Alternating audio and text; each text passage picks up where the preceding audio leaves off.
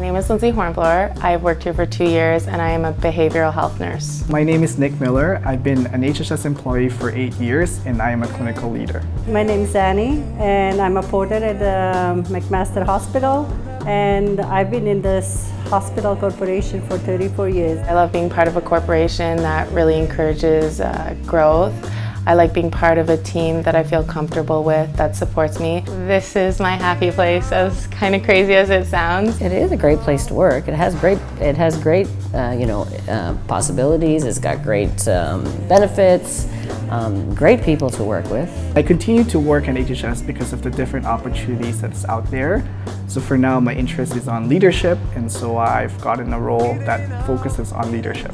I work with a really good team. I love my patients. I actually love my patients. Like, I've never had a bad day here. It's very rewarding when you come in and they remember you, especially if they have dementia and they're, they're so happy to see you. Yeah. You know, that's the rewarding part for me. Yeah. And that's probably why I stay because of the patient and that, that uh, interaction. The thing that surprised me about working in HHS is the amount of stories of people that I learn. Uh, and it could be patients, staff, and it's very enriching and you learn so much from their life.